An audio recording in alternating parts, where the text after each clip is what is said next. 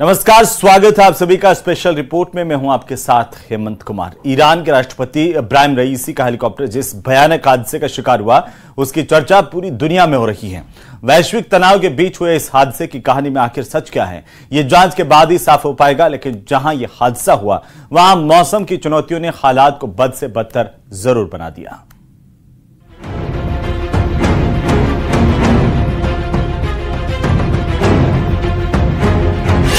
कैसे क्रैश हुआ हेलीकॉप्टर। क्या खराब मौसम बना हादसे की वजह?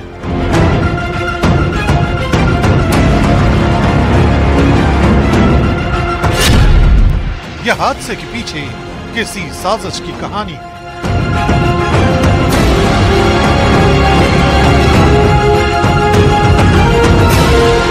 तिहत्तर रेस्क्यू टीम दर्जनों फाइटर ड्रोन दो प्लेन कई हेलीकॉप्टर रैपिड रेस्पॉन्स सैटेलाइट 2024 का सबसे बड़ा तलाशी अभियान। मिडिल ईस्ट में तनाव की लहर के बीच ईरान के राष्ट्रपति इब्राहिम रईसी के हेलीकॉप्टर क्रैश की खबर ने पूरी दुनिया में हड़कंप मचा दिया। दुनिया भर की वेबसाइट और अखबार के पन्नों में सिर्फ़ और सिर्फ़ एक खबर। और वो इब्राहिम रईसी के साथ हुए हादसे की खबर।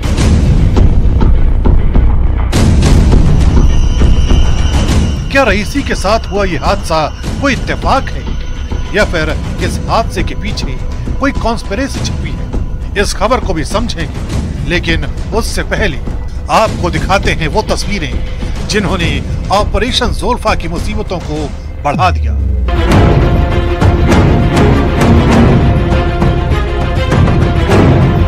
कोहरे और तूफानी हवाओं के बीच हादसे से जुड़े एक एक सुराग को तलाशने के लिए एड़ी चोटी का ज़ोर लगाया जा रहा है।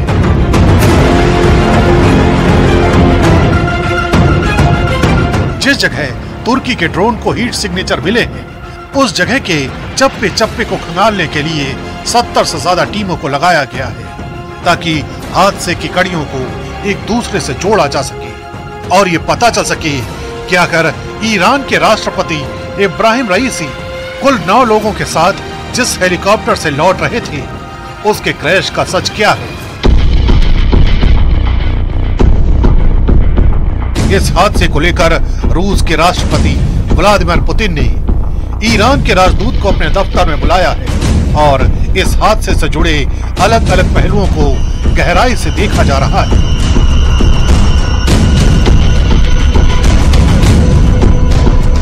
इतना ही नहीं, तलाशी अभियान में रूस के दो विमान, हेलीकॉप्टर और 50 रिलीफ फोर्स भी लगाई गई। इसके अलावा यूरोपियन यूनियन ने अपने रैपिड रेस्पॉन्स सैटेलाइट को भी हादसे की मॉनिटरिंग के लिए एक्टिव कर रखा है।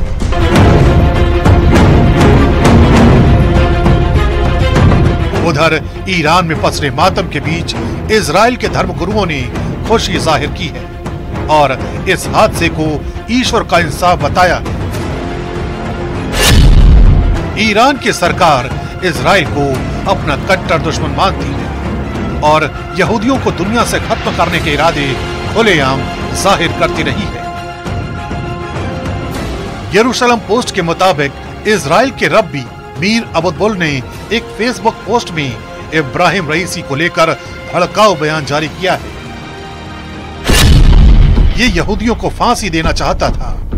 इसलिए ईश्वर ने उन्हें और उनके पूरे इजराइल से नफरत करने वाले दल को हेलीकॉप्टर हादसे में नष्ट कर दिया। ये हादसा ईश्वर की सजा का एक रूप है। यही वजह है कि ईरान के साथ हुए इस हादसे को दुनिया महज एक इत्तेफाक नहीं मान रही है।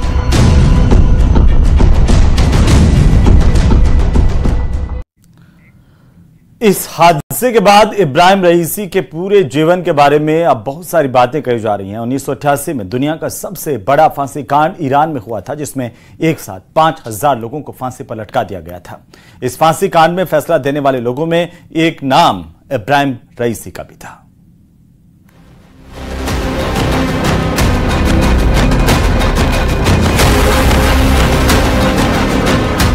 इब्राहिम रईसी की मौत की खबर ईरान के लिए एक बहुत बड़ा झटका है।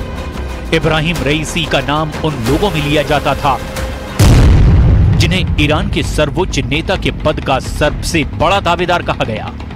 इब्राहिम रईसी की नीतियाँ अमेरिका के लिए बड़ा सिरदर्द थी।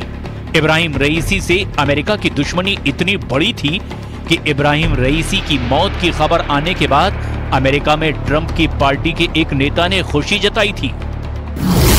आखिर मिडिल ईस्ट की राजनीति के लिए इब्राहिम रईसी का रोल इतना अहम क्यों माना गया था? कि उनके हेलीकॉप्टर हादसे की खबर आते ही रूस ने अपना बचाव दल रवाना कर दिया और तुर्की भी अपने ड्रोन की सेना लेकर पूर्वी अमेजान के जोल्फा नाम की जगह पर खोजबीन में जुट गई। इब्राहिम रईसी के राजनीतिक करियर और बेहद फौलादी इरादों का पूरा विश्लेषण हम करने वाले हैं। दुनिया में इब्राहिम रईसी को एक कट्टरपंथी मौलवी के रूप में जाना जाता है, जिन्होंने साल 2021 में ईरान के राष्ट्रपति पद की शपथ ली थी। इब्राहिम रईसी की आक्रामक नीतियों के चलते ही इसराइल और ईरान युद्ध के कगार पर खड़े हो गए थे। इब्राहिम रईसी ने न सिर्फ़ इसराइल और अमेरिका का ज़बरदस्त विरोध किया बल्कि ईरान के अंदर उठे हिजाब आंदोलन को कुचलने में भी इब्राहिम रईसी का बड़ा रोल माना जाता है। इब्राहिम रईसी का जन्म 1960 में ईरान के पूर्वी शहर मशहद में एक धार्मिक परिवार में हुआ था। इब्राहिम रईसी का जन्म एक ऐसे ईरान में हुआ था जब ईरान में राजशाही थी। यानी ईरान में एक ऐसे बादशाह का राज था जिसको दुनिया अमेरिका की कठपुतली कहती थी। उन्नीस सौ में जब ईरान में इस्लामी क्रांति हुई और ईरान के पहले सर्वोच्च नेता ग्रैंड अयातुल्ला खामनई का जादू ईरान की जनता के सिर चढ़कर बोलने लगा, तब ईरान के ग्रैंड अयातुल्ला के सबसे बड़े शिष्यों में इब्राहिम रईसी का नाम आता है। इब्राहिम रईसी ने ईरान के ग्रैंड अयातुल्ला के कंधे से कंधा मिलाकर ईरान की बादशाही को उखाड़ फेंका था। इब्राहिम रईसी की सबसे खास बात यह थी कि वो इस्लामी कानून के और शरीयत के बहुत अच्छे जानकार थे। ईरान का धार्मिक महत्व का सबसे बड़ा शहर कोम है, जहाँ पर पूरी दुनिया से इस्लामिक स्टडी के लिए लोग आते हैं। इब्राहिम रईसी ने भी कोम से शिक्षा पाई थी। ईरान के प्रसिद्ध मौलवियों से इब्राहिम रईसी ने शरीयत का ज्ञान लिया था। उन्नीस सौ उनासी में इस्लामी क्रांति सफल होने के बाद और ग्रैंड आयातुल्ला के सुप्रीम लीडर बनने के बाद इब्राहिम रईसी का सितारा बुलंद हो गया। 1988 आते आते, यानी लगभग 28 साल की उम्र में ही इब्राहिम रईसी ईरान की न्यायपालिका की सर्वोच्च समिति का हिस्सा बन गए। उन्नीस सौ नवासी में इस्लामी क्रांति का विरोध करने वाले ईरान के 5000 नेताओं को जिस समिति ने फांसी की सजा दी थी उसमें इब्राहिम रईसी भी शामिल थे। साल 2017 में, जब इब्राहिम रईसी ने पहली बार ईरान के राष्ट्रपति पद का चुनाव लड़ा था तो वो चुनाव हार गए थे। लेकिन साल 2021 में वो बासठ प्रतिशत वोट से ईरान के राष्ट्रपति का चुनाव जीत गए थे। अमेरिका की सरकार ने लगातार इब्राहिम रईसी की सरकार को परमाणु कार्यक्रम रोकने के लिए धमकाया था, लेकिन इब्राहिम रईसी ने परमाणु कार्यक्रम लगातार जारी रखा और इस वजह से इब्राहिम रईसी अमेरिका के लिए बड़ा सिरदर्द बने हुए थे। इब्राहिम रईसी ने हाल के कई दशकों में ईरान का सबसे बड़ा विद्रोह भी कुचल कर रख दिया था। महसा अमीनी की मौत के बाद ईरान के अंदर एक हिजाब आंदोलन हुआ। इसमें सैकड़ों की संख्या में लोग मारे गए थे और बड़ी संख्या में ईरान के सुरक्षा कर्मी भी अपनी जान गंवा बैठे थे। लेकिन आखिरकार इब्राहिम रईसी ने न सिर्फ़ इस आंदोलन को कुचल दिया, बल्कि इस आंदोलन को खड़ा करने वाले लोगों और आंदोलनकारियों को भी फांसी की सजा दी गई। इब्राहिम रईसी के इन तमाम फैसलों को लेकर दुनिया भर में उनकी निंदा हुई। हैरानी की बात यह है कि एक प्रमुख रिपब्लिकन सांसद रिक स्कॉट ने ईरानी राष्ट्रपति की दुर्घटना का स्वागत किया। स्कॉट ने एक सोशल मीडिया पोस्ट में राइसी के बारे में कहा, उन्हें प्यार या सम्मान नहीं मिला और कोई भी उन्हें याद नहीं करेगा। अगर वो चला गया तो मुझे सचमुच उम्मीद है कि ईरानी लोगों को अपने देश को हत्यारे तानाशाहों से वापस लेने का मौका मिलेगा।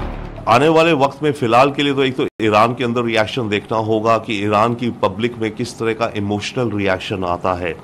अगर ईरान की पब्लिक इमोशनल रिएक्शन में इसराइल को ब्लेम करती है, चाहे कि कोई तथ्य ना भी हो, तब ईरान की लीडरशिप को शायद कुछ अपना कदम उठाना पड़ेगा दिखाने के लिए भी देखो, हम भी कुछ कर सकते हैं। तो एक खतरा फ़िलहाल है। अमेरिका और इसराइल के अंदर भी ईरान का विरोध करने वाले बहुत सारे लोग इसीलिए राहत महसूस कर रहे हैं क्योंकि इब्राहिम रईसी ईरान के तीसरे बड़े सर्वोच्च नेता बन सकते थे।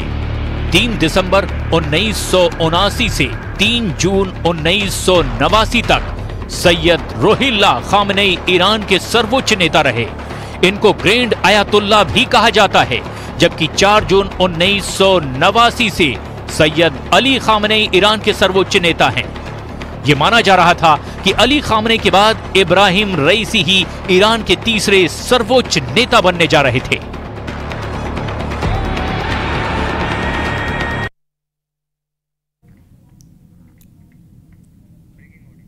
और इसी बीच बीकानेर के बज्जू से बड़ी खबर मिल रही है, जहाँ पर नर्सरी में भीषण आग लगने की जानकारी सामने आ रही है। आरडी 860 के पास नर्सरी में आग लगी है। सैकड़ों पेड़ आग की चपेट में आने से जल गए हैं। शॉर्ट सर्किट की वजह से यह आग लगी। बहरहाल, आग बुझाने की कोशिशें लगातार जारी, और इसी बीच सबसे पहली तस्वीरें आपकी टीवी स्क्रीन पर। भीषण आग लगी है बज्जू में। कई पेड़ आग में जलकर खाक हो गए हैं और कल रात को भी पेड़ों में इसी जगह पर आग लगी थी। ग्रामीणों ने अब बज्जू पुलिस को जानकारी दी जिसके बाद पुलिस प्रशासन को जानकारी मिलने के बाद टीम यहाँ पर पहुँच रही है। स्थानीय लोगों ने मिट्टी और मोटर पंप की सहायता से आग बुझाने की कोशिश शुरू कर दी है। बज्जू में दमकल नहीं है और इसी वजह से ग्रामीणों में आक्रोश है। बीकानेर के बज्जू इलाके से बड़ी खबर है, नर्सरी के इलाके में आग लगी है, जहाँ पर बड़ी तादाद में पेड़ जल गए हैं।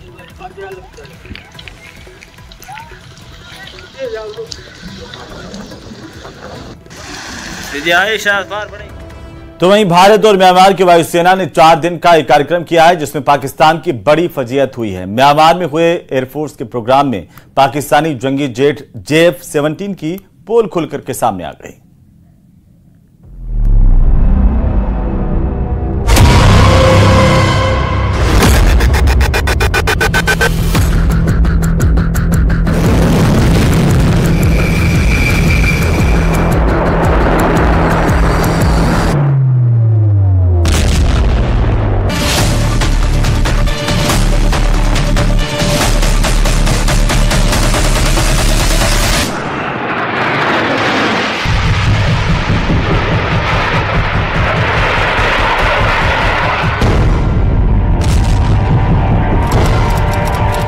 तेरह मई 2024 Nay Pyi Taw air force base, Myanmar. जंगी जेटों की गरज से थर्राते हवाई अड्डे में अचानक आसमानी योद्धाओं की हलचल तेज हो गई थी। फाइटर पायलट एक्शन मोड में आ गए, जैसे किसी बड़े ऑपरेशन का माहौल बन गया।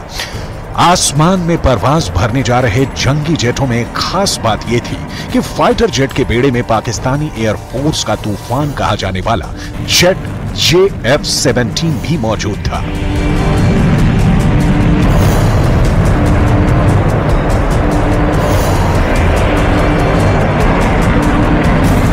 म्यांमार की वायुसेना पाकिस्तानी जेट को अपने जंगी बेड़े में शामिल किए हुए है, लेकिन यह ताबड़तोड़ एक्शन किसी ऑपरेशन के लिए नहीं, एक खास मेहमान की अगवानी के लिए हो रहा था, क्योंकि छठवीं म्यांमार वायुसेना, भारतीय वायुसेना की ऑफिशियल टॉक्स शुरू हो रही थी। और इस खास चर्चा के केंद्र में एक नाम था। ये नाम कोई और नहीं इंडियन एयरफोर्स के intelligence chief air vice marshal Ichettira Ayyappa Kotappa का है।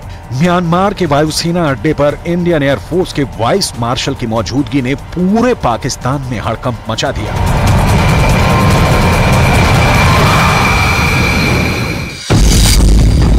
कोटप्पा की एंट्री से दहल गई पाकिस्तानी वायुसेना।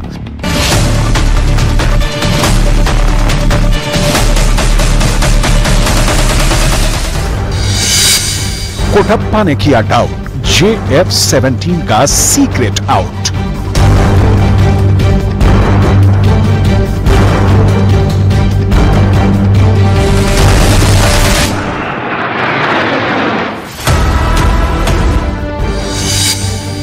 कबाड़ जंगी जेट का छलावा। जे एफ़ सेवनटीन थंडर नहीं, फुस फाइटर।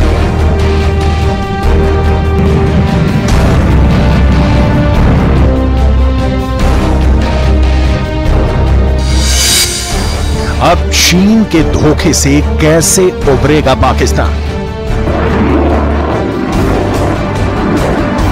तेरह मई के बाद से पाकिस्तान की एयरफोर्स के लिए एक एक पल भारी पड़ रहा था। जैसे जैसे वक्त गुजर रहा था, पाकिस्तानी वायुसेना के अधिकारियों की धड़कने बढ़ रही थी। लेकिन जो डर था हुआ वही, क्योंकि म्यांमार में पाकिस्तानी जंगी जेट की कलई खुल गई। पाकिस्तान जिस जंगी जेट का हवा खड़ा करता रहा, जिस जे एफ़ सेवनटीन को अजय लड़ाका बताता रहा, जिस लड़ाकू विमान से पाकिस्तान अपनी तिजोरी फुल करने का प्लान बना रहा था, उसका सीक्रेट आउट हो चुका है। पाकिस्तान के fighter jet J F seventeen को अच्छी तरह से जाँच परख लिया गया है। यह काम हुआ भी ऐसे अंदाज में, जिसकी कल्पना भी पाकिस्तान ने नहीं की थी। असल में भारत और म्यांमार की वायुसेना की छठवीं वार्ता की शुरुआत धूमधाम से हुई, जहाँ air vice marshal Ichettira Ayyappa Kotappa का जोरदार स्वागत किया गया। 14 मई को एयर वाइस मार्शल कोटप्पा के साथ म्यांमार वायुसेना के कमांडर से मीटिंग हुई। 15 मई को भारतीय प्रतिनिधिमंडल ने म्यांमार की रक्षा सेवा संग्रहालय और शहीद स्मारक का दौरा किया। 16 मई को फ्लाइंग ट्रेनिंग बेस पर भारतीय एयर वाइस मार्शल को बेस का इतिहास समझाया गया। 17 मई को air vice marshal Kotappa Yangon airport से भारत लौट आए। जिसके बाद पाकिस्तान के प्राण सूख गए, क्योंकि 16 मई को जिस फ्लाइंग ट्रेनिंग बेस पर एयर वाइस मार्शल कोटप्पा ने दिन बिताया था, वहाँ पाकिस्तानी जंगी जेट जे एफ़ सेवनटीन की तैनाती थी। पाकिस्तान को यह लड़ाकू विमान चीन ने खैरात में दे रखा है। दोनों देश इस जंगी जेट को सबसे बड़ा आसमानी जंगबाज होने की डींगे हाँकते हैं। लेकिन इंडियन एयरफोर्स के इंटेलिजेंस ऑफिसर के इस जेट के सामने मौजूदगी भर से पाकिस्तानी फोर्सेज हांफने लगे। ताज्जुब की बात यह है कि जे एफ़ सेवनटीन की जितनी हवा बनाई जाती है, आसमानी अखाड़े में उतनी इसकी बिसात भी नहीं है। म्यांमार एयरफोर्स के लिए तो पाकिस्तानी जंगी जेट जी का जंजाल बन चुका है। कुछ साल पहले के वाकई की कहानी म्यांमार में वाइस मार्शल कोटप्पा को पता लगी।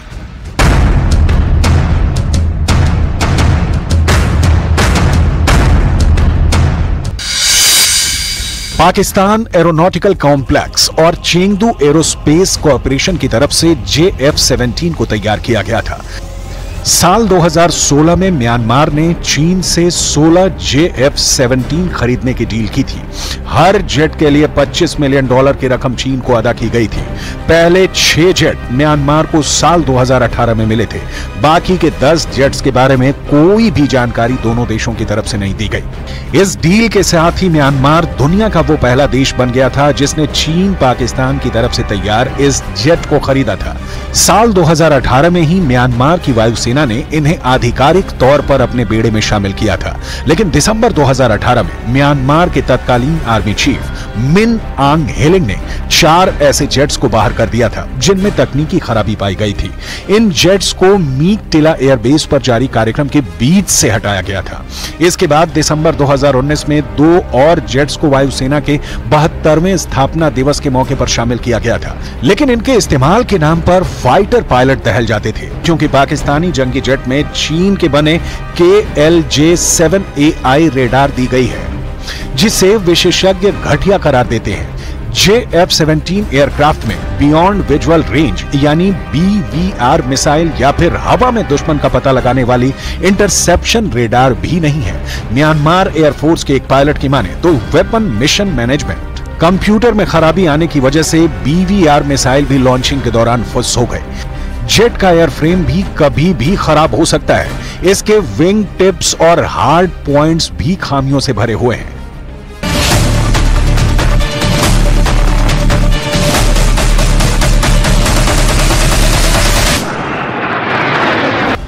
कुल मिलाकर पाकिस्तान की हवाई फौज जिस लड़ाकू विमान को तोप बताकर उसकी सौदेबाजी में जुटी थी, उसकी पोल खुल गई। हाल ही में पाकिस्तान ने इसी कबाड़ जेट को इराक को बेचकर मोटा माल अंदर कर लिया। पाकिस्तानी मीडिया द नेशन की रिपोर्ट के मुताबिक मुशाक ट्रेनर और जे एफ़ सेवेंटीन लड़ाकू विमान की 12 यूनिट इराक को बेची है। इस डील के एवज में पाकिस्तान को एक दशमलव आठ बिलियन अमेरिकी डॉलर की एक मुश्त रकम भी मिली।